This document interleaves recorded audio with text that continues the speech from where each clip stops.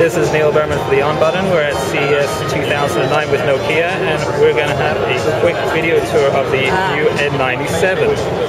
Hi there. Um, this is the Nokia N97. It is resistive touch technology, which is based on pressure and not uh, uh, heat sensitivity like the capacitive touch technology.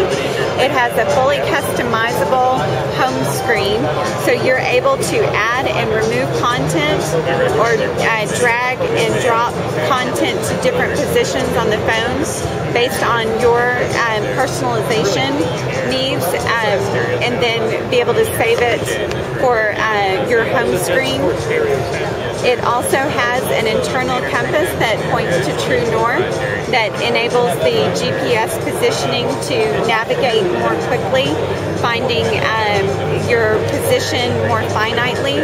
Uh, it has um, 16 by 9 video capability as well as playback in 16 by 9.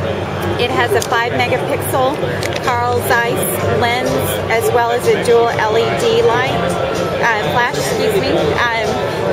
32 gig of internal storage with an expansion of up to 16 additional on a micro SD.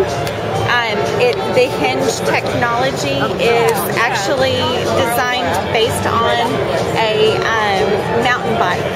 So the hinge technology is uh, it was designed after mountain bike. I'll find you. In fact, when, when, I was holding it before, it actually felt pretty solid. I, yeah. I, think a lot more solid than other designs I've used, like the HTC Tilt, which I, I, I used last year, and, and that felt quite flimsy at, at the hinge sometimes. This actually feels very, very solid. Yes, and it's 150 grams, so it's quite lightweight. It's uh, about the same size as our 5800, but it has the full QWERTY keyboard, um, hard keyboard, as well as the full QWERTY keyboard um, on the screen. Um, it uh, Let's see. And, and, any news on availability in the United States at the moment? Availability will begin first half of 09, into first half of 09 globally, and then uh, shortly thereafter in the U.S. Okay. And is there any word on pricing at the moment? Pricing right now is set at roughly 550 euros uh, plus taxes minus subsidies, and they have not set a price point for the U.S. at this time.